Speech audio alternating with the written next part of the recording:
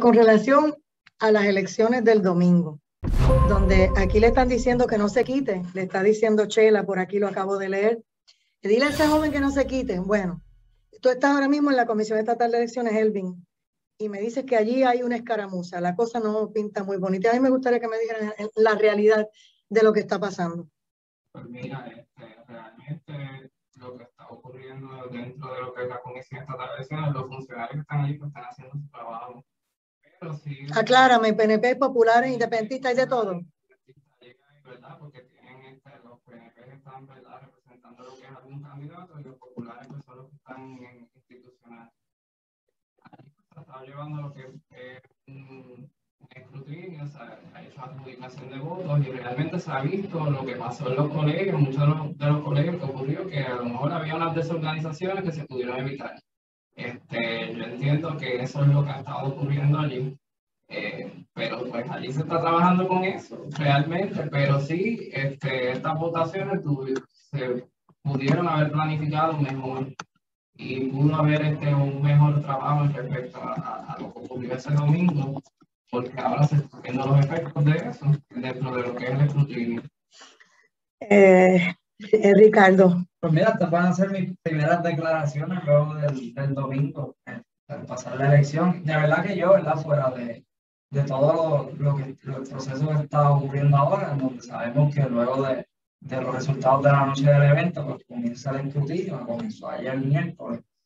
Yo estoy bien agradecido, ¿verdad? Porque el pueblo estadista salió a votar eh, nos dio un respaldo sobre 30.000 personas respaldaron, mi candidatura y yo estoy satisfecho eh, por eso.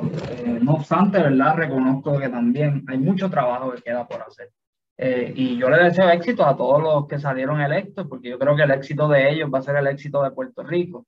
Al final del día, yo creo que ese, todos podemos tener diferencias, pero el punto en donde debemos encontrar ese consenso es cuando se trata de hablar del futuro de Puerto Rico y si hablamos de futuro tenemos que hablar claramente de estabilidad. Así que vamos a ver lo que va a suceder. Yo, yo encuentro que el gobernador y la delegación congresional tienen muchos asuntos sobre la mesa para atender y sabemos que en el Congreso, eh, el Congreso está dividido, pero hay un gran porcentaje de congresistas que están a favor de la estabilidad y esa tarea ya se tiene que dar para que se apruebe el proyecto de admisión de nuestra comisionada residente. Yo te voy a decir eh, realmente que yo, a la Isa Cortés, yo pensaba que los muy jóvenes, eh, si no estaban ready, si no estaban preparados para qué es lo que van a hacer allí, cómo lo iban a hacer, que no fueran sencillamente a recibir instrucciones del PNP o instrucciones de PRAFA o de alguien, no debían aspirar.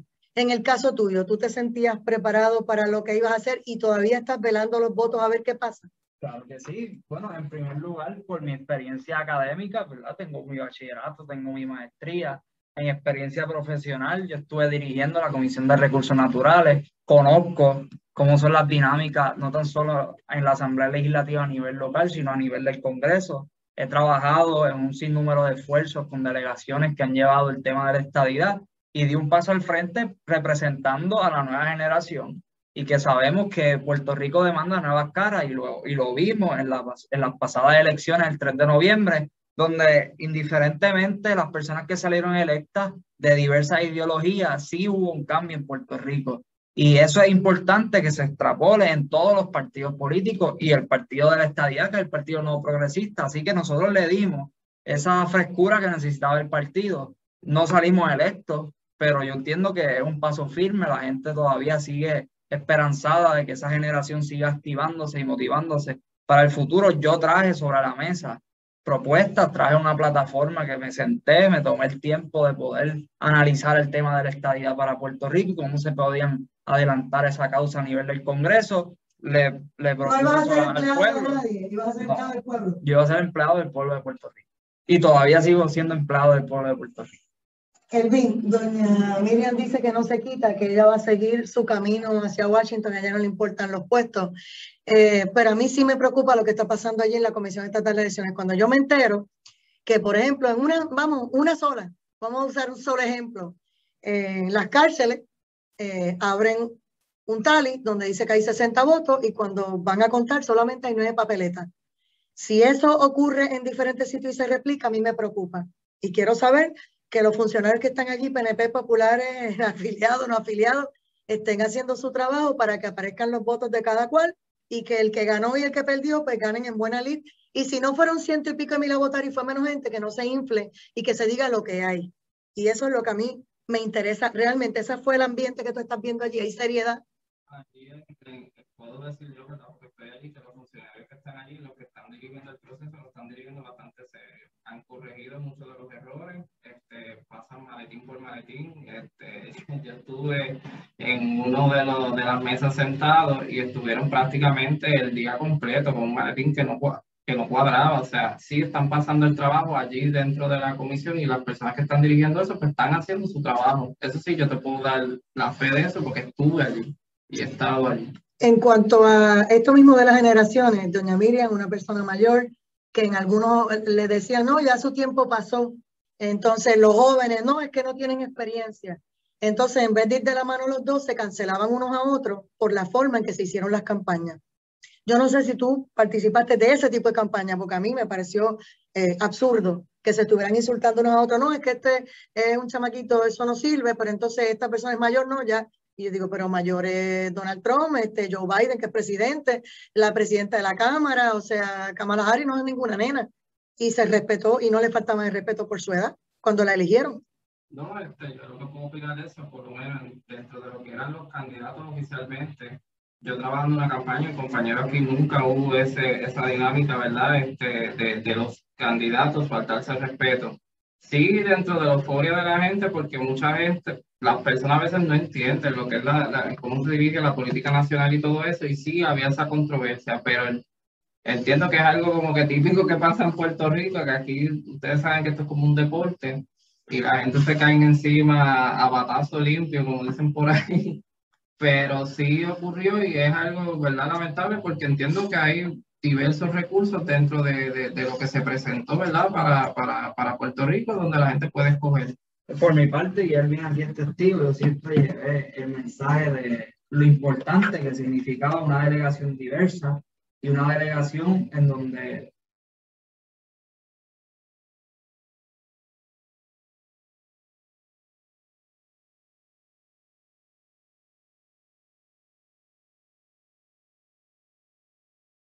el estatus que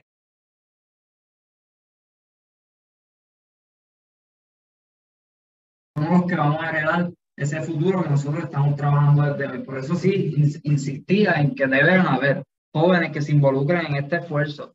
No salimos electos en la delegación, pero a los jóvenes los invito a que sigamos aportando desde el foro correspondiente, ya sea a través del Congreso, en los esfuerzos cívicos aquí en, Puerto Rico a nivel local, como se ha hecho en numerosas ocasiones. Así que yo creo que Puerto Rico debe aprovechar este momento histórico, no nos podemos dejar, no nos podemos cansar sobre este asunto, al contrario, nos debemos motivar para seguir llevando ese mensaje importante de cara a que Puerto Rico se convierta en el próximo estado de la nación.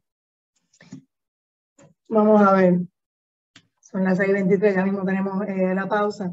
Hay varios asuntos que me gustaría eh, tratar. Yo también estaba mirando hoy eh, me gustaría una reacción de ustedes, porque el Congreso de Estados Unidos sabe ya que el 63% de los estadounidenses apoyan que Puerto Rico sea admitido como Estado. Hicieron una encuesta y el 89% de los demócratas y el 30% de los republicanos así lo estipularon. Y entonces yo veo una escaramuza y veo que siguen presionando para que básicamente nos vayamos para el lado de la izquierda y hay una gente hablando de la República Asociada, que no es otra cosa que la independencia, aunque le quieran cambiar el nombre. Así que en el mismo orden, eh, ¿quién habló? Te toca a ti, Ricardo. Bueno, en ese, en ese contexto sabemos que, eh, y, esta, y esto ocurre, ¿verdad? Luego de que se presentaran por primera vez dos proyectos, eh, uno pretende una, una, línea un poco más radical en cuanto a atender el tema del estatus donde tenemos el HR 2270, que es el proyecto de Nidia Velázquez y Alexandro Casio, que quiere traerle a Puerto Rico un proyecto de libre determinación de un pueblo, en donde precisamente al tratar de aprobar ese proyecto, eh, lo que hace es sacar de, contexto el proceso que, de libre determinación que hubo el pasado 3 de noviembre en la UFA, que precisamente el proyecto que le hace justicia a ese mandato que el pueblo envió es el HR 1522 de nuestra comisionada residente. Sabemos que ha ocurrido una división a nivel del Congreso. El proyecto de admisión ha ganado mayor, ¿verdad? mayor apoyo, en donde sobre 60 congresistas se han expresado a favor del tema. En cuanto a los demócratas, pues le conviene por un lado que Puerto Rico sea un estado en donde ellos plantean que, que si Puerto Rico se convierte en un estado va a poder ampliar esa mayoría que ellos tienen tanto en Cámara como en Senado para poder fortalecerse hacia las próximas elecciones. Por eso es que yo siempre he dicho que este es el momento idóneo para que Puerto Rico pueda luchar por la estabilidad desde el Congreso y llevarlo como un tema político, que es lo que ahora mismo se representa a nivel nacional. Y regresamos a Directo al Punto. Soy Adahitza Corte y estamos aquí en el panel sin censura con Elvin Méndez y Ricardo Marrero Pasapera. Y le tocaba el turno a Elvin, así que vamos contigo. Bueno, este, estaba hablando sobre lo que eran las encuestas. Pues mira, ha habido una aceptación bastante grande sobre la estabilidad para Puerto Rico, aún más que la capital federal eso desde que ocurrieron varias situaciones que todos sabemos, lo de, los huracanes, los temblores de tierra y todo eso, pues la gente tuvo un, un alto conocimiento sobre que Puerto Rico es parte de los Estados Unidos y nuestra situación como ciudadanos que no tenemos representación ni voz ni voto. Este, en las encuestas pues se vio lo que era una aceptación de diversos sectores. Eh, yo puedo tener una explicación sobre eso porque en el caso de mi partido republicano y ahí se puede ver lo que hubo, lo que es una baja y eso se debe a la política nacional debido a la imagen que se ha dado de Puerto Rico en muchas ocasiones, que es un, un estado demócrata completamente. Este, pero sí se ha estado moviendo la discusión y eso es algo que es importante destacarlo, porque cuando Hawái estaba pasando por la situación de, de, de era un territorio, se hacía mucha comparativa para aquel tiempo entre Hawái y las Filipinas.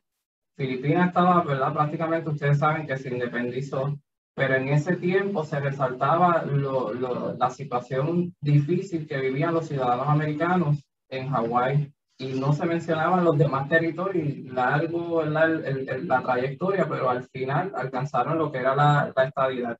Y eso es algo que está pasando con Puerto Rico. Se ha resaltado lo mucho que nosotros, ¿verdad? el americanismo, que somos ciudadanos americanos, este, que pertenecemos a los Estados Unidos, eh, la situación de nosotros se ha representado mucho. Sí se ha levantado un movimiento, ¿verdad? Como todos conocemos, eh, por la capital federal. Sí tienen un, una situación distinta a la nuestra y eso es bueno que lo, lo puedan saber, ¿verdad? Lo que nos están escuchando a través de la radio. Recuerden que Washington, D.C. es la capital federal, que hay unas enmiendas constitucionales y ese debate está. Puerto Rico no tiene esa situación. Y entonces ha comenzado a, arrojar pues luz sobre la necesidad de que Puerto Rico se convierta en Estado y cómo puede aportar a ambos partidos de verdad de manera este, a la política nacional, porque todos sabemos que también es una movida política, porque se habla mucho de los derechos civiles, pero también es, es la entrada de un socio nuevo que ambos partidos están observando qué es lo que puede traer a la mesa. Así que esa discusión que se ha dado es positiva y esa aceptación y el hecho de que se sigue hablando sobre la estabilidad para Puerto Rico mantiene el issue vivo y ustedes saben que a través de las controversias que se mueven las causas. Dice el amigo Joel Salgado que el problema que tiene el argumento de la libre asociación sin hablar de independencia es que no existe ningún país en el planeta que haya firmado un acuerdo de libre asociación con los Estados Unidos.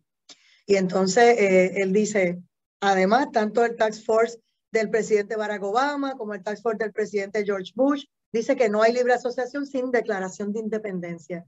Este, y pero veo que ellos hacen tanto ruido que logran confundir a los congresistas y decir, mira, esa gente tiene un, un berenjenal allá, que sigan ellos allá con su loquera, que nosotros no vamos a mirar ni, ni para Puerto Rico. No, y precisamente el proceso, eso, eso es bueno que, que la gente entienda. El, el proceso que se quiere traer a Puerto Rico bajo el 2270, que es el proyecto de Lidia Vázquez y Alexandro Casi, es traer una asamblea de estatus para resolver precisamente el problema del estatus.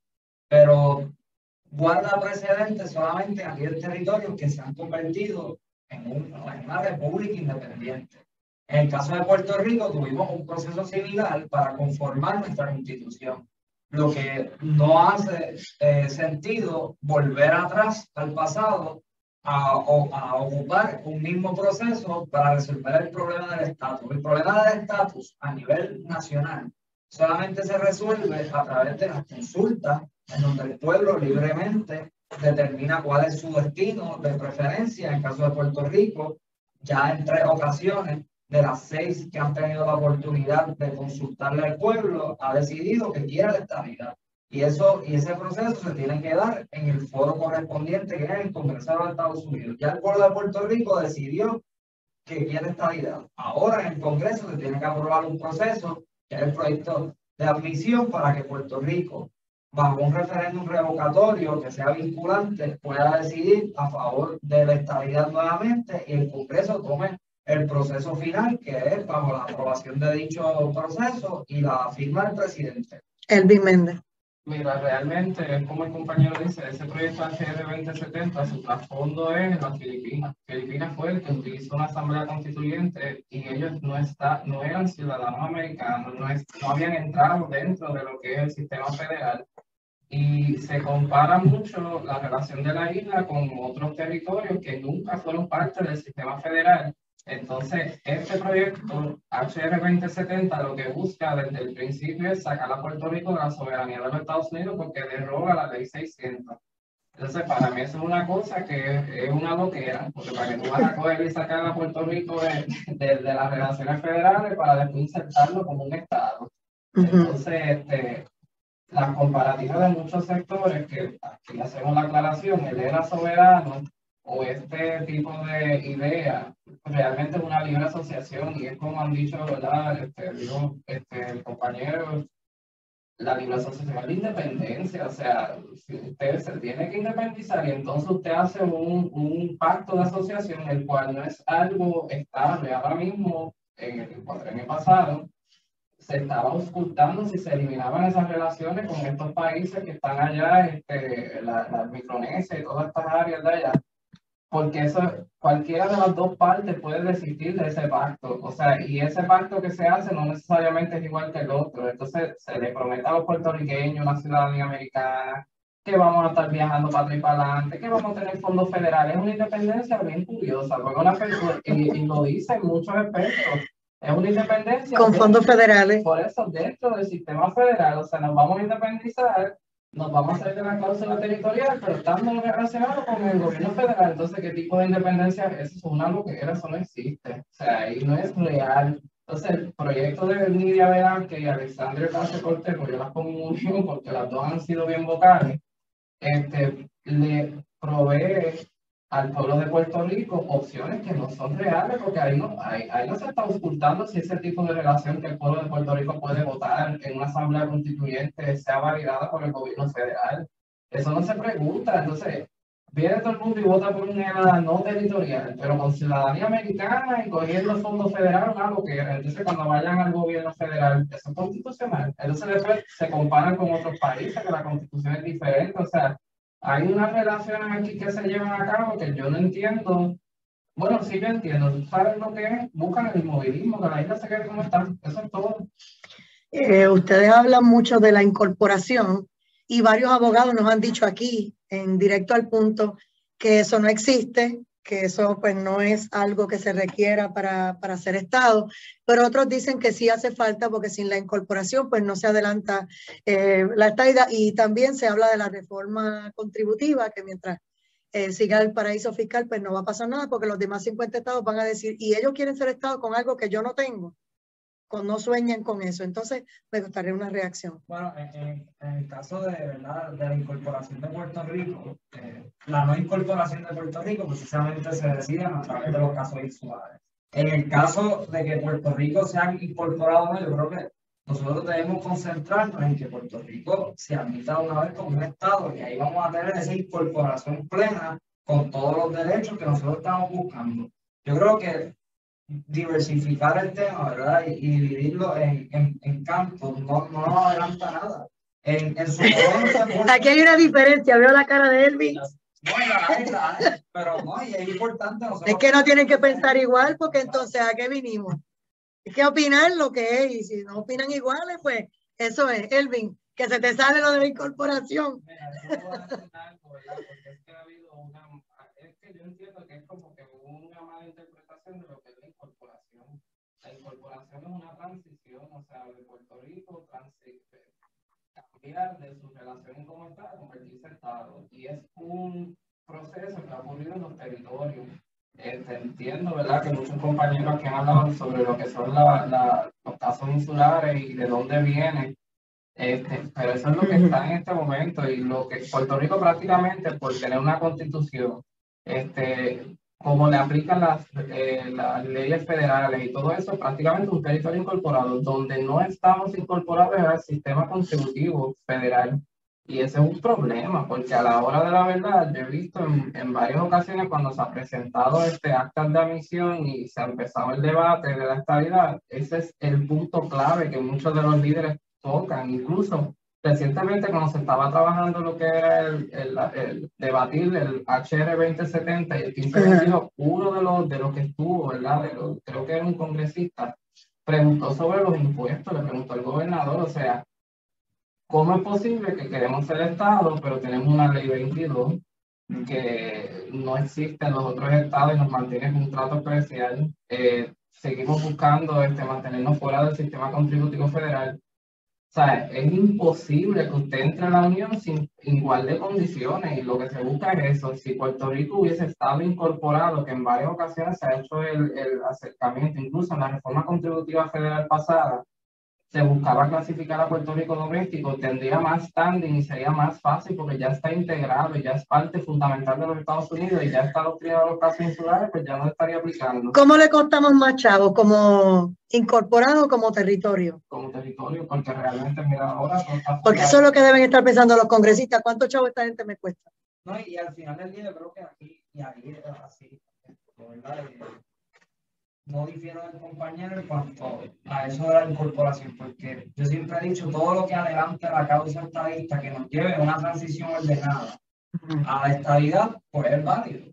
En el caso de Puerto Rico, se planteaba en un momento dado la transición de Puerto Rico, primero con el derecho al voto presidencial, luego con la incorporación y luego siendo un Estado. Yo creo que esas iniciativas se pueden llevar, se pueden llevar a cabo. Hay unas que son más complejas que otras, al final del día yo creo que Puerto Rico es importante que esté en un contexto eh, importante a nivel del Congreso para que sea determinado como un posible actor para la estabilidad. Y en ese, en ese proceso es que nos encontramos.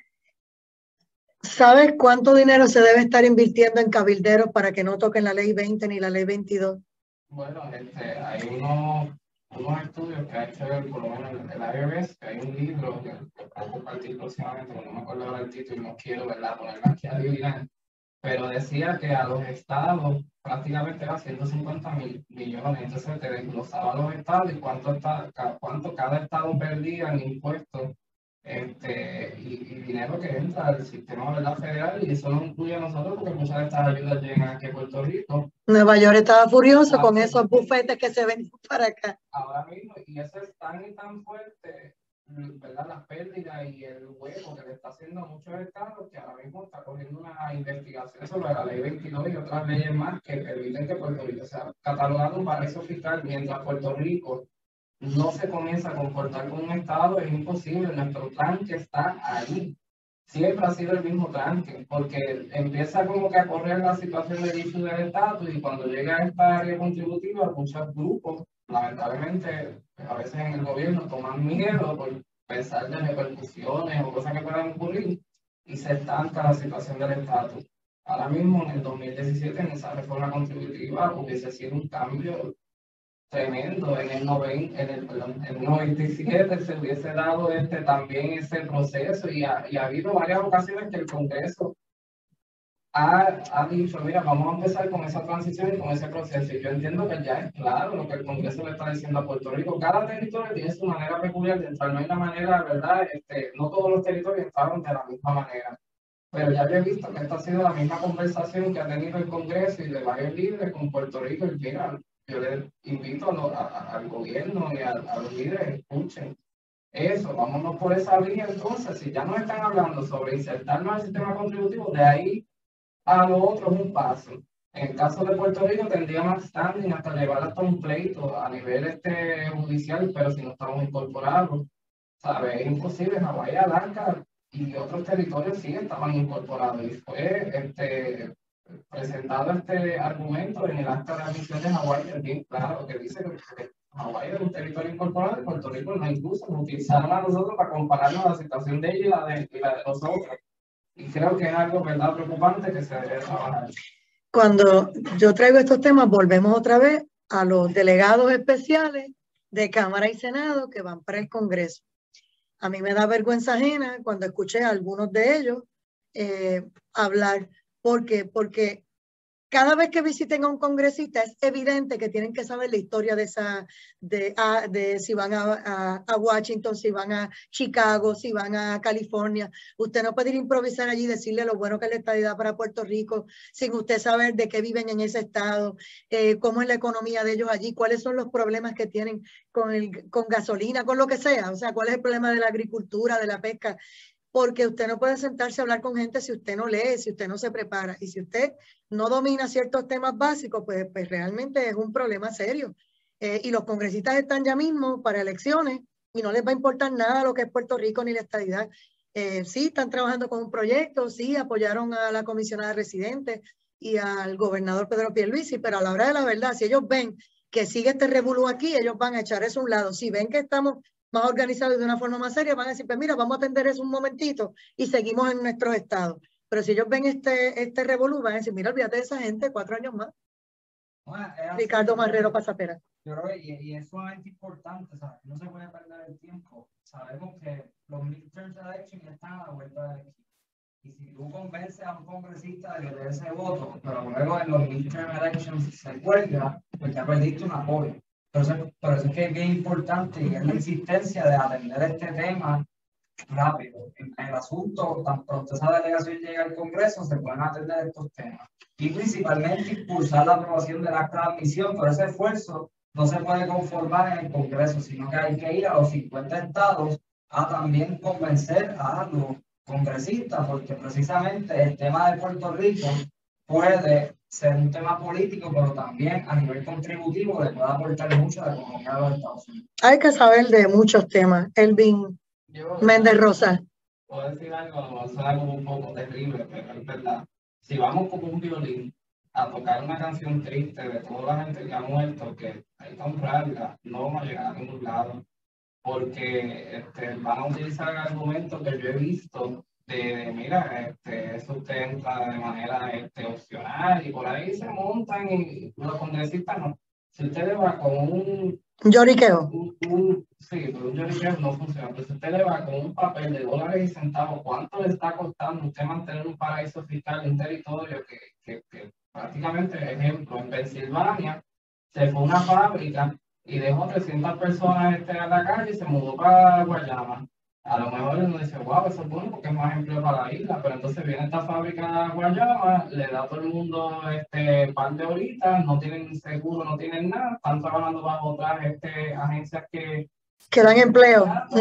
Y entonces, pues, valen impuestos, valen todo. Cuando tú vas a, a, donde los, congresistas le empiezas a presentar el problema, mira el ejemplo Schumer, Schumer se dio una prendida y dijo, hasta que no me quiten esa ley 22, no hablen de estabilidad, porque ya le está haciendo un hueco en su distrito y a los que están allá. Entonces, cuando tú empiezas a llevarle a ellos números, el mensaje yo, te, yo te, digo que cambia el, el, el, pensamiento, porque dice, esto me está afectando a mí, me está afectando a mi distrito, a mi estado, porque mucha de esta gente en ocasiones tienen temor a entrar en controversia de otros lugares por miedo de la repercusión que pueda tener en distrito, porque van a decir, mira, se están cargando más de otro lado que del propio distrito, y eso pasa, y eso lo utilizan mucho los, cabilderos que vienen a, a, a, cabildear a favor de Vega.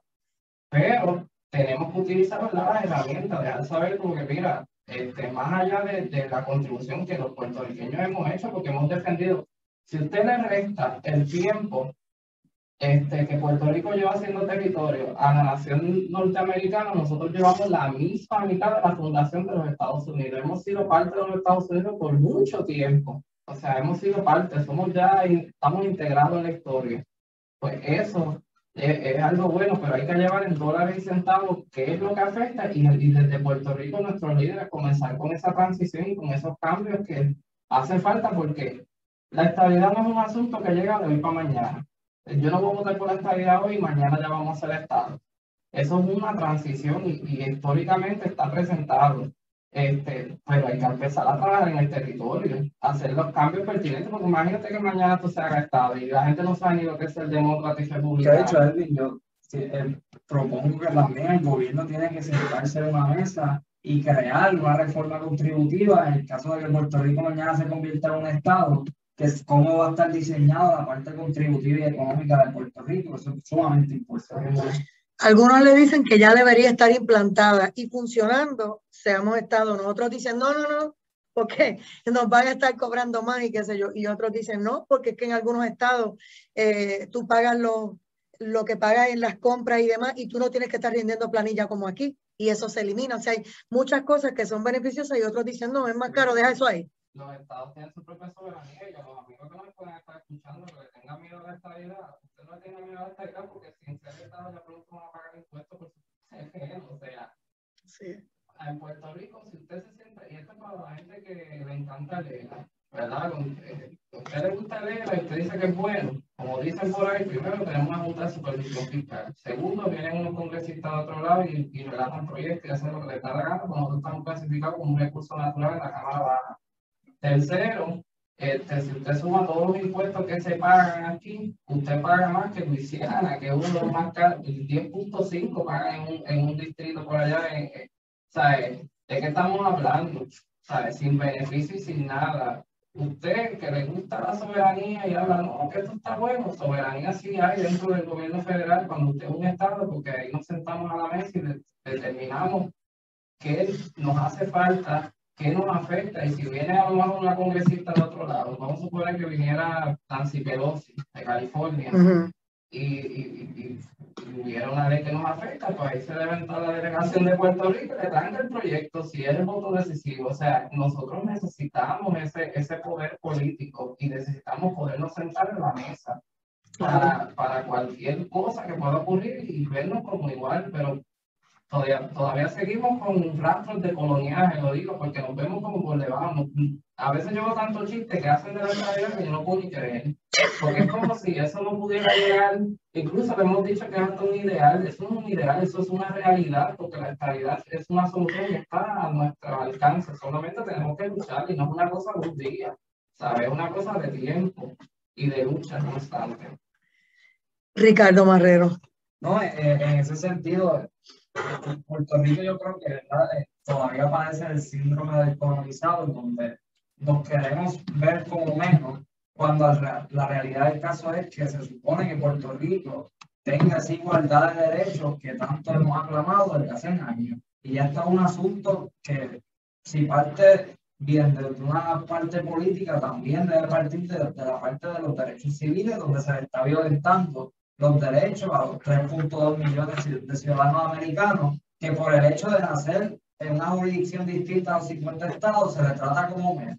En donde nosotros hemos dicho que nuestra ciudadanía es de segunda clase y no es así, no es la misma ciudadanía. Lo que sucede es que cuando te vas a los 50 estados, pues tienes, gozas de mayores derechos. Cuando vienes aquí a Puerto Rico, pues se te limitan esos derechos. Yo creo que ese es el asunto que nosotros debemos llevar. Puerto Rico ahora mismo está limitado a esa igualdad de representación, como el compañero dice. Y eso tiene repercusiones. Sabemos que cuando vienen los temas importantes de Puerto Rico, cuando vienen los, los, los desastres naturales, cuando vienen las pandemias y cuando vienen todo aquello que puede poner a Puerto Rico en un estrago, pues ahí es que Puerto Rico necesita representación para que la discusión de esos temas, en la discusión de los fondos que se van a aprobar, Puerto Rico puede estar en esa mesa de discusión y pueda aportarle a la ciudadanía que vive aquí en Puerto Rico.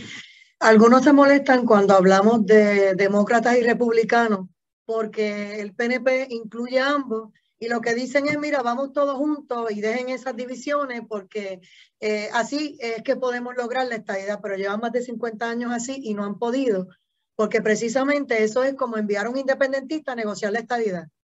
Ningún republicano se va a sentar con un independentista a hablar de estadidad. Ningún demócrata se va a sentar con un comunista a hablar de estadidad.